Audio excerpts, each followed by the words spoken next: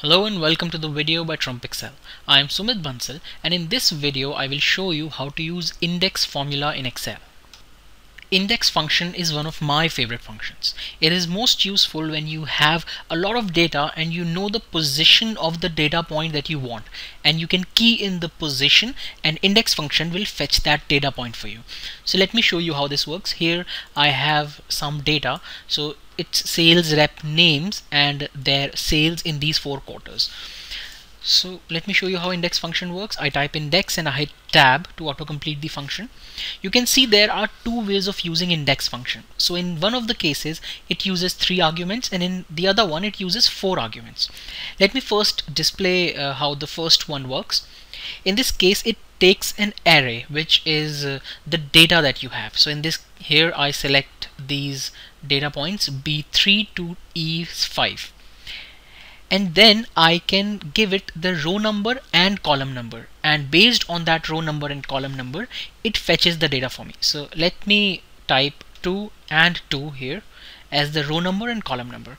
And I hit control enter.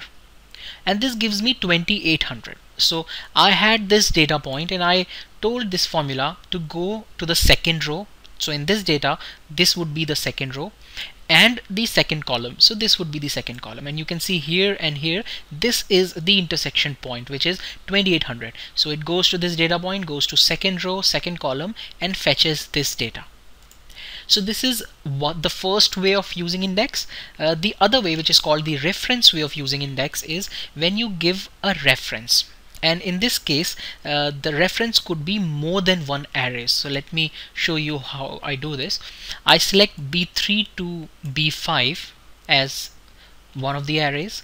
Then the second array is C3 to C5 then D3 to D5 and then E3 to E5 and I close the bracket. So this is the reference that I have given. You can see that there are four arrays that I have keyed in here.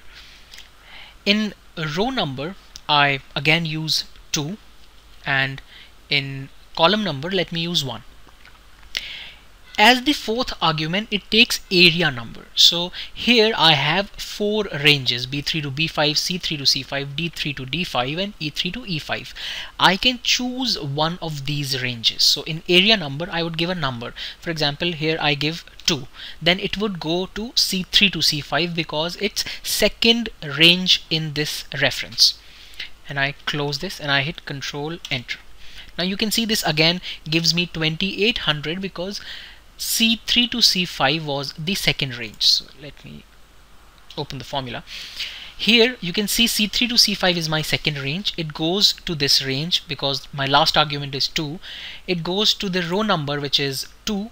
So it goes to this row and oops goes to the second row which is this and the first column because there is only one column. So this is how index a reference function works. You can have more than one ranges and you can just give it a name, uh, a number of the range and it will go back and refer to this uh, range here. So in reference you can see I have four ranges and I'm referring to the second one. Now let me show you an interesting way to use index function. Suppose I take the same array and as row number I use 1 but in column number instead of giving a number I give it 0 and I hit control enter.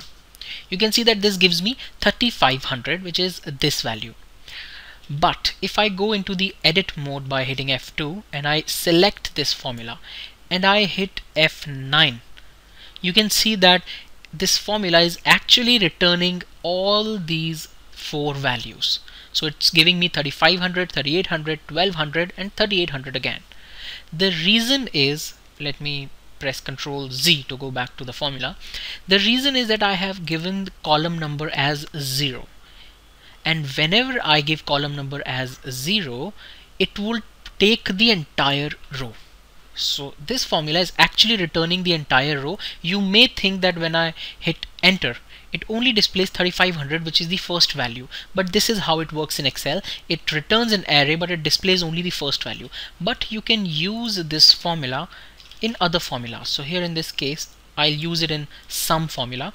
And when I hit control enter it gives me 12,300 which is the sum of all these four values.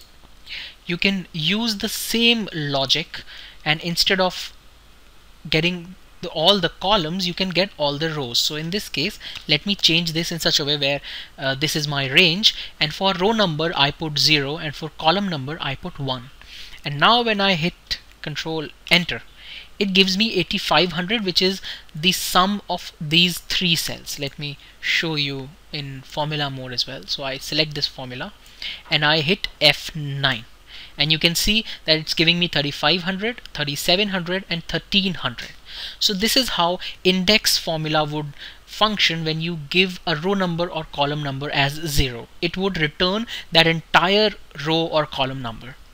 Now what if you skip this? What if you don't give any uh, number? You don't even type in 0 you just keep it blank. It would still work. So either you can give it a 0 or you can just leave it blank and it would work now let me show you another very interesting way of using index function. Let me first use the function and I select this data as my array. I say go to the third row and the fourth column. Now when I hit control enter it gives me 4800 because it gives me this value which is uh, the third row and the fourth column. Now if I place this formula in front of a cell reference. So if I do it like this I give it b3 is to this formula.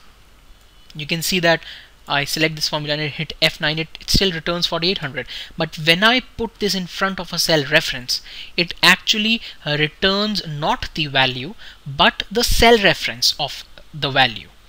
So let me hit control enter and it gives me a value error but when I go back to the uh, formula mode edit mode and I select this and I hit F9 you can see this gives me all these values.